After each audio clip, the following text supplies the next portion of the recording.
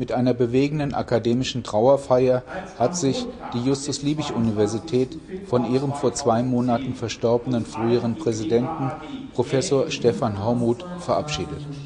Vor Gästen aus Hochschule und Wissenschaft, Politik und Verwaltung sowie Angehörigen des Verstorbenen würdigten Redner in der Aula Hormuths berufliches Lebenswerk.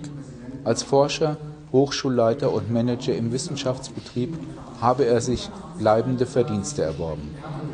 Mit insgesamt zwölf Jahren, 1997 bis 2009, habe Hormuth länger als jeder andere Präsident und Rektor der Universität Gießen an ihrer Spitze gestanden, sagte sein Nachfolger in diesem Amt, Professor Giorbrato Mukherjee.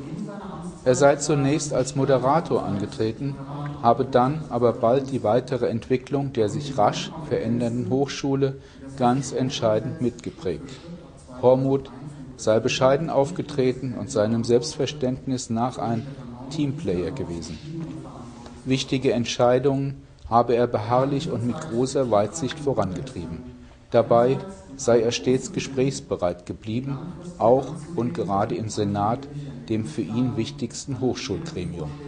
Hormuth habe die Autonomie der Universitäten als Chance gesehen, sei jedoch auch bereit gewesen, die dafür notwendige Verantwortung zu übernehmen. Beides gehörte für ihn zusammen, sagte Mukherjee. Für den würdigen musikalischen Rahmen sorgte das Universitätsorchester unter Leitung von Stefan Ottersbach. Anschließend konnten sich die Gäste in ein Kondolenzbuch eintragen.